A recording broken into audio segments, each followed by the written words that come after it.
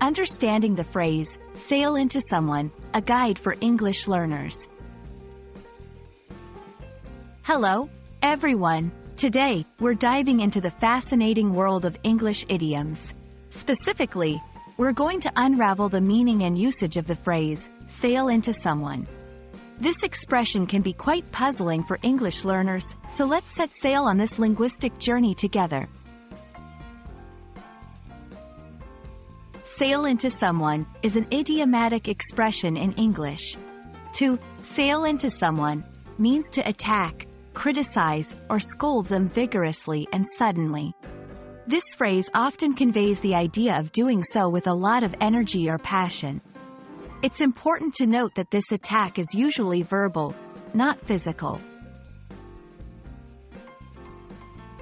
The origin of sail into someone is quite interesting. It dates back to naval terminology where ships would sail into enemies for a confrontation.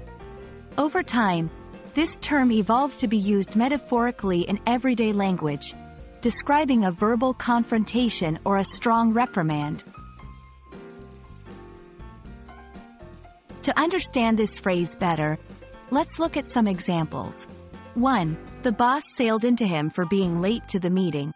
Here, the boss strongly reprimanded the person for their tardiness.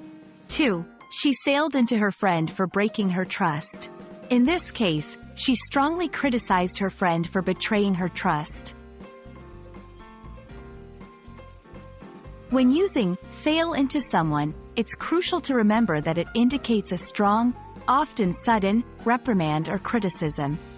It's usually used in more informal contexts and might be inappropriate in formal or sensitive situations.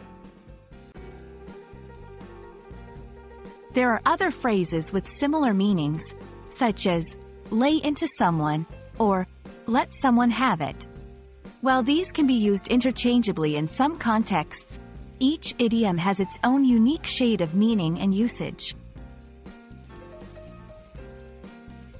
I hope this video has helped clarify the meaning and use of sail into someone. Remember, idioms are a vibrant part of the English language, adding color and depth to our communication. Keep practicing, and you'll soon be navigating these expressions with ease. Thanks for watching, and see you in our next language adventure.